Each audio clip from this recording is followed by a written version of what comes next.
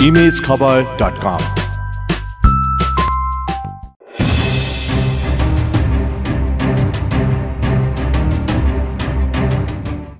फागुन एघार गते प्रतिनिधि सभा पुनस्थापना भए यता सरकारले संवैधानिक र कानूनी विवाद उत्पन्न हुने निर्णय गर्दै आएको छ। असंवैधानिक भनिएका यस्ता कदममाथि सर्वोच्च अदालतले रोक लगाउँदै आएको छ। पहिलो पटक गरिएको प्रतिनिधि सभा विघटनदेखि नागरिकता अध्यादेश गैर सांसदलाई दोस्रो पटक मन्त्री बनाउने निर्णय ढुङ्गा गिटी निकासी गर्ने निर्णय र कर्णाली प्रदेशका चारजना सांसदलाई पार्टीले गरेको कार्यवाही तथा पछिल्लो समय गरिएको मन्त्री परिषद विस्तारको निर्णयमाथि अदालतले अंकुश लगाएको छ।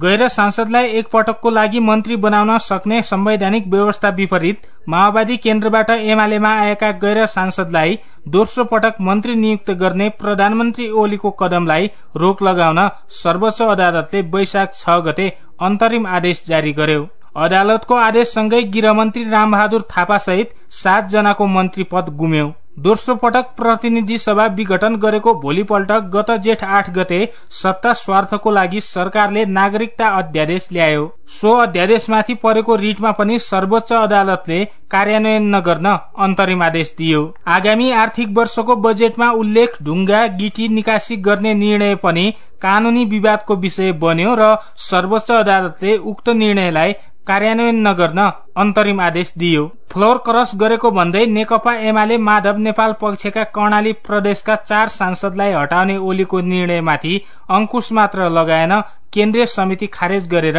गठन गरिएको महाधिवेशन आयोजक समिति पनि खारेज भयो। मंगलबार सर्वोच्च अदालतले अन्तरिम आदेश मार्फत पछिल्ला दुई पटकको मन्त्री परिषद विस्तारलाई असंवैधानिक ठहर गर्यो। अदालतको अन्तरिम आदेशसँगै एक्काइस जना मन्त्री पदमुक्त भए। अदालतले गरेका पछिल्ला निर्णयलाई सरकारले कसरी लिएको छ त?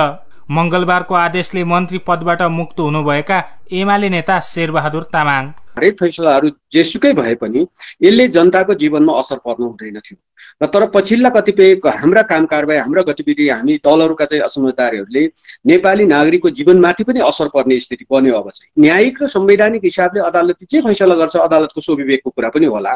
तर हामी चाहिँ त्यही कुरालाई अब शङ्का पनि लाग्छ कतिपय चिजहरू। अब अदालतले के फैसला गर्दैछ भन्ने कुरा दुई तिन दिन अगाडि नै कतिपय नेताहरूको मुखबाट सुनिन्छ। यो के हो?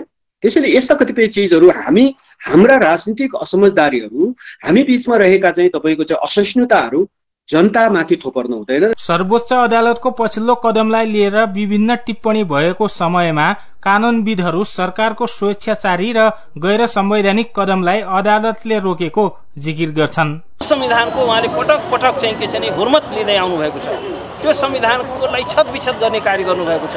संविधानलाई ध्वस्त गर्ने काम गर्दै आउनुभएको छ।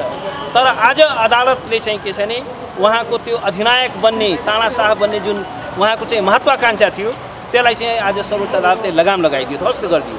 र प्रधानमन्त्रीलाई उहाँको लिमिट के हो त्यो कुरा देखाउँछ सरकारका विरुद्ध एकपछि अर्को गर्दै अदालतले अंकुश लगाउन थालेपछि सरकारको आगामी रणनीति के हुन्छ?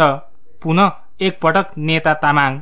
कन्टिन्यू कसरी कुनै न कुनै व्यवस्थाबाट सरकारको सञ्चालन आखिर हुनै पर्दछ। सरकार नरहेको जिम्मेवारी नरहेको कार्यकारी प्रमुख नरहेको मुलुक हुन सक्दैन। त्यसैले तपाईँको चाहिँ कार्यकारी हिसाबले जिम्मेवारी लिएर मुलुकलाई कसरी सञ्चालन गर्ने भन्ने कुराको डिसिजन पनि हुनेछ। र सधैँभरि यो चाहिँ भ्याकुम राखेर मुलुक जान सक्दैन। र त्यसको लागि कुनै न कुनै एउटा उपायद्वारा मुलुकलाई चाहिँ सञ्चालन गर्ने र जिम्मेवार व्यक्तिहरू तोकिन्छन्। सरकार गठन सम्बन्धी संविधानको धारा छहत्तरको हरेक उपधारालाई आफू अनुकूल व्याख्या गर्दै पदमा अडिन सफल प्रधानमन्त्री प्रधानमन्त्री ओलीलाई अदालतले एकपछि अर्को धक्का दिइरहँदा ओलीको भविष्यमाथि प्रश्न उठ्न थालेको छ। इमेज संसारका लागि अक्कल कुँवर काठमाडौँ।